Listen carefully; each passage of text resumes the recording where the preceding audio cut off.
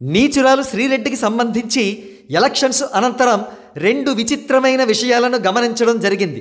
అందులో మొదటిది వైఎస్ఆర్సీపీ గవర్నమెంట్ పోయి కూటమి ప్రభుత్వం వచ్చిందని తెలిసినా కూటమి నేతలైన సీఎం చంద్రబాబు నాయుడు గారిని మినిస్టర్ నారా లోకేష్ గారిని డిప్యూటీ సీఎం పవన్ కళ్యాణ్ గారిని టార్గెట్ చేస్తూ వారిని పచ్చిబూతులు తిడుతూ వీడియోలు చేస్తోంది.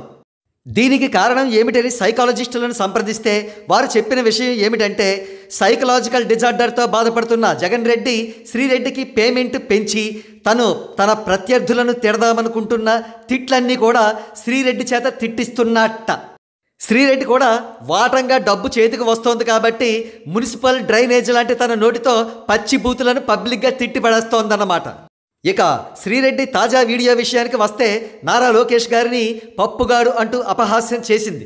ఒక ఏపీ మినిస్టర్ను ఇంత దుర్మార్గంగా అపహాస్యం చేయడం అనేది ఎట్టి పరిస్థితుల్లోనూ భరించలేనిది. అయితే అంతకు మించి శ్రీరెడ్డి చేసిన దుస్సాహసం మరొకటి ఏమిటంటే నారా బ్రాహ్మణి గారిని అంటే లోకేష్ గారి భార్యని ఆవిడ వస్త్రధారణ పట్ల ప్రవర్తన తీరు పట్ల బూతు అర్థాలు ధ్వనించేలా మాట్లాడింది.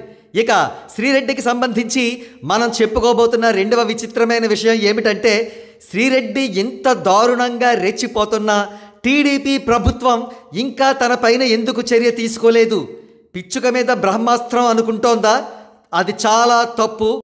తను చేసే బూతు మాటల వీడియోల వల్ల చిన్నపిల్లలు చెడిపోతున్నారు యువత పాడవుతుంది సమాజమే పొల్యూట్ అవుతోంది. ఇది తీవ్రమైన నేరం క్షమించరాని నేరం. ఎట్టి పరిస్థితుల్లో చట్టం ఈ శ్రీరెడ్డి పట్ల తగిన చర్య తీసుకునేలా చూడాల్సిన బాధ్యత కొత్త ప్రభుత్వానికి కంపల్సరీగా ఉంది.